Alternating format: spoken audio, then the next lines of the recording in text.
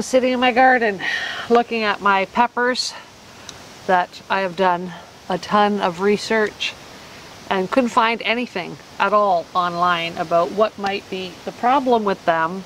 So I joined a home gardening page on Facebook and I got my answer almost immediately. So what I have determined and after I found out what it might be, I did some more research and then found all kinds of information, is uh, broad mite. And they are teeny tiny little microscopic mites that um, just basically suck the life out of your plants. And you can't see them with the naked eye.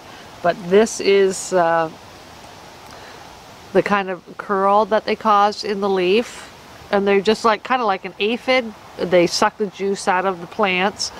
And uh, there's just, you know, thousands and thousands of them on this leaf. And they're so tiny. And this is what they do to the peppers as well. So, so what I have to do, I'm just going to pull them out and they say they don't, they don't handle heat well. So I think I'm just going to burn them. And uh,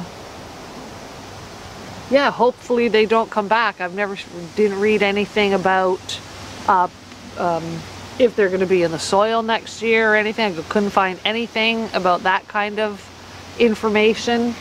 So what I'm just going to do, I'm just going to pull these out and I don't know, hope I don't get them next year, I guess. Yeah, you can really see the damage to the leaf, how they're curled down under like that.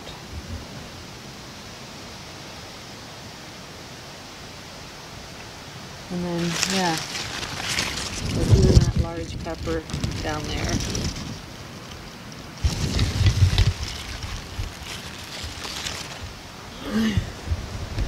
You know, the thing that irritates me the most is that these were peppers that we bought. Like all the peppers I grew from seed are fine. The ones that we bought from the nursery are the ones that have it, and that's very, very frustrating. So these are all out. I made sure I got all the little, oops, didn't get them all, I guess. Little pieces of stems and leaves out that I could get. And uh, I think I'm just going to pull out these peppers as well. Um, Jeff and I aren't big fans of the banana peppers anyway, so we've mostly just been giving them away. But I sort of can see a little bit of the curl starting on these, so just to be safe, I'm just going to pull them out and no more peppers for this year, unfortunately.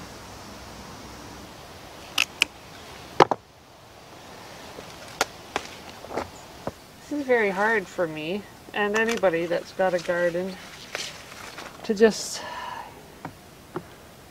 you know, throw your stuff away. It's sad.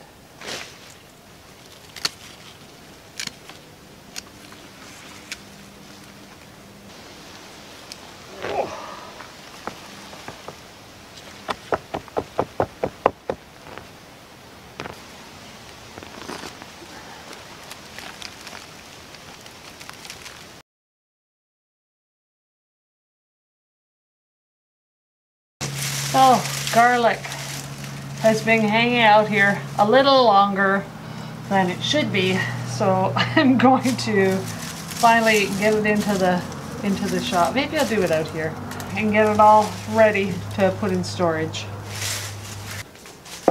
Not not quite as nice as last year, but boy, oh boy, that's nice garlic either way.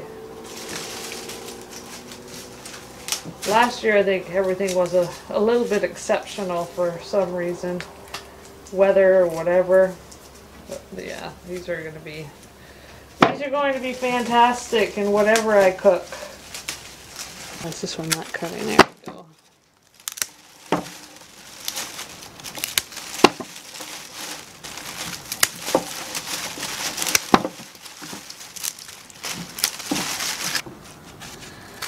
Cut off the roots, clean off the dirty paper, and they're ready to store.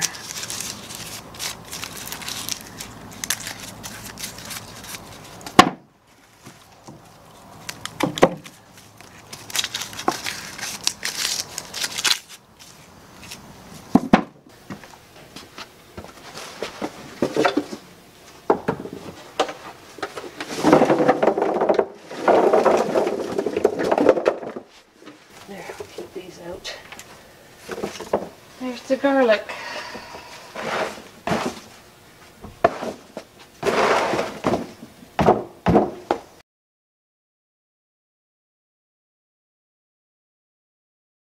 Finally, after what, three years I've had this thing, I've used it twice, I decided it's time to get out some venison roast.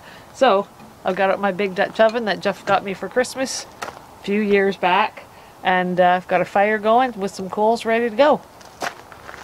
I am definitely no expert with this thing, but all we need to do this, get some coals.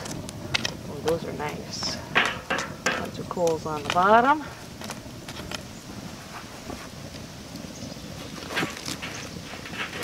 the pot in there.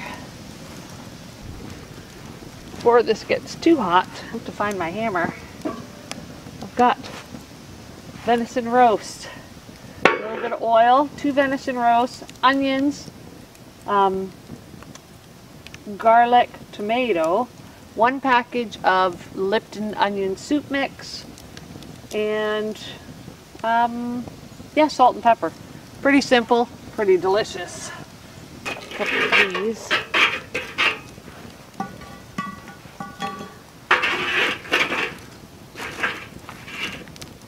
Set them on top.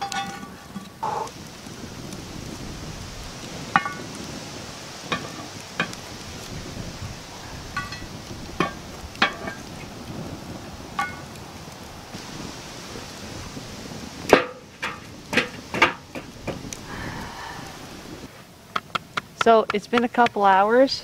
We had to put this heat shield up because it got way too hot and it actually burned the onions. It dried up and it burned the onions in the bottom of the pot so I had to take everything out. Like they were burnt, charcoal burnt. so we added this screen and uh, I added more water, redid the whole thing and I'm just going to check it now and see what it looks like. Hopefully it's better.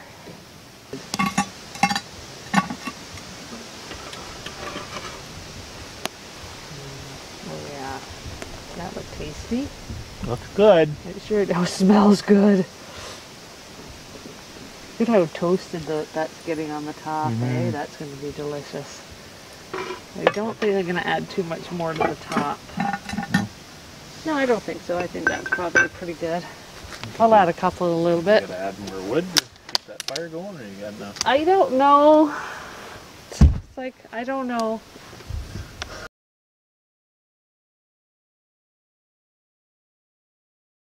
What'd you get? We've got a hay bale blind from Cabela's. Hay bale blind. Where's the instructions? Oh, they're in, inside the bag. Holes in them? Yep. They're in their own handy little Oh, camo bag too. Fiberglass thing. too. Oh, what's in the bottom here too then? Oh, probably pegs. Got this nice of pocket. Yeah, those are pegs.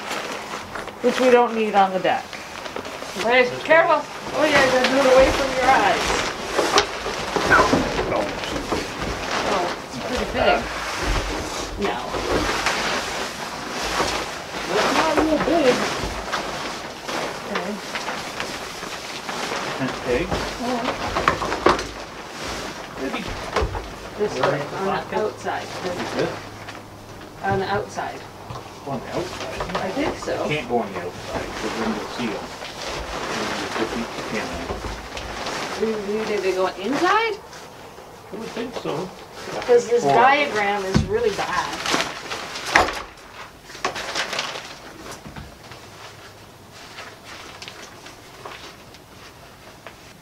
It's kind of a terrible. It is, te- they're terrible directions. Alright, I'm gonna grab one of these. To make an axe? They should have made these not black. What they should have done. But this is how they go. Give me another one. Wait one. P2. P2. Well, is that not a P2 then? Yes, you have four of them.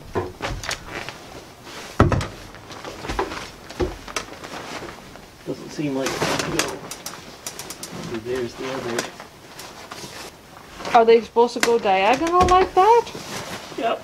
And he connects Oh, and then they Good. tie in the middle there? somehow. Okay. I guess that's how it makes They it gotta go out to make it round, yeah. Yeah, that makes sense. Oh, probably, eh? I think so. I don't think we're gonna do that though. You sure it goes in there? Holy. Yeah, I got it. So there is the bale blind that Jeff just got from Cabela's. It doesn't really look like a veil of straw, but he's got the right idea. Inside, Two chairs in it. It's actually it's pretty Not- roomy. not bad. Inside here. Zip up the door. There you go. Oh. The mesh top. So this is for goose hunting. It's a goose hunting blind. I guess you could use it as deer hunting blind too, but it's a little, well, maybe. Won't, won't protect you from the weather at all, that's for sure. No. No. What's the dog doing? Back windows as well, chasing bugs, I'm sure. Velcro. But yeah, the idea is you can see your see your geese coming, right? And you, you're gonna land into your decoys, and you just grab this. You got that? Yep. Boom, boom. It's like that. That's pretty cool, actually. Yeah, that works pretty good. It's uh, was a little complicated to figure out because the instructions are not great. White poles, diagonal from corner to corner. The P2s, and do that on the back as well. And then this one, this is going to get tied in here as well. And that holds it out so it looks nice and round. And we've got one pole here, that's an individual one that holds the top in place. The P3s are in, Oh, they're all in in the front here. in the front. So they're, oh jeez. They're holding this. Yeah, it's not bad. No, And it I think comes, it was. comes with anchors and pegs and ropes and to hold it down just like a tent. Mm. A bag for the And this- poles and a bag for the. And this odd the unit. zipper, Yeah, that's strange. we're not sure what that is supposed to be for. I don't know if maybe if you have wanted a heater, and you put a Oh, hose out. maybe, put the hose outside. out. I wouldn't want a heater in here, holy. This thing is melting. Maybe. But anyway, that's it. I'm gonna go out and have a look from the outside. Chairs up. Taking it out to the yard.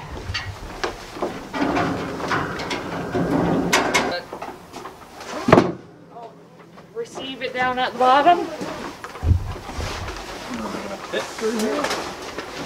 Awkward. Hold on. Hold on.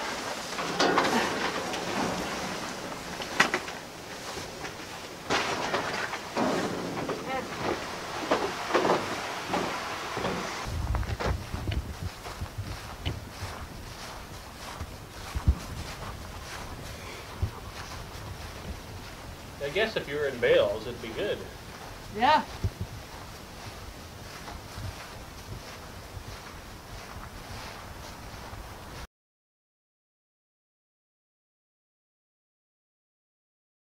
I've been fiddling around with this off and on, keeping it keeping it going. So we got a nice little simmer going. So it looks like everything's pretty good. So we're going to actually take a look at it and see if we're almost done. Ooh, that looks fantastic. Grab my tongs here. I think we're pretty close. That looks so fantastic. Keep some up here.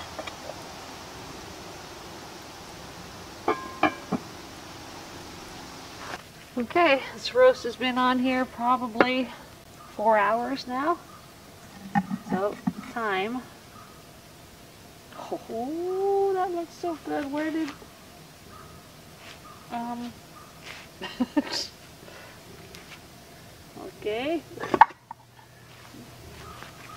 Jeff has put stuff away. Oh my goodness, this looks so fantastic.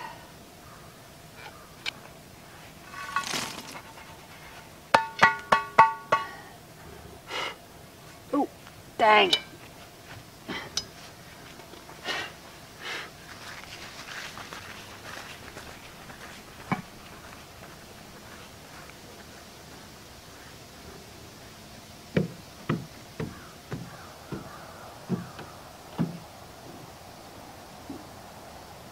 Tomato in there too. yeah. Holy. That's the way we want A little it. fall aparty.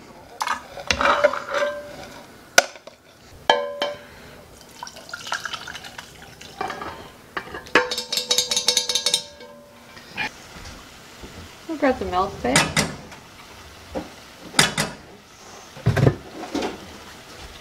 Thank you. Out.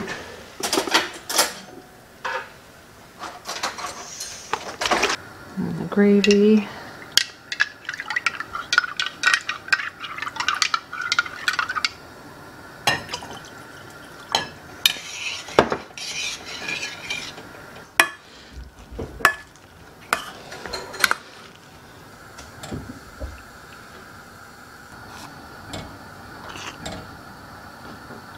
That's really thick.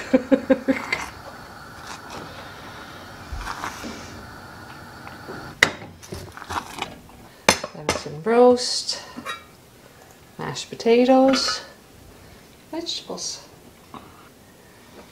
It is thick gravy, holy. Is too thick? No, Is there such not a too thick. Such a thing? Yes, there is such a thing.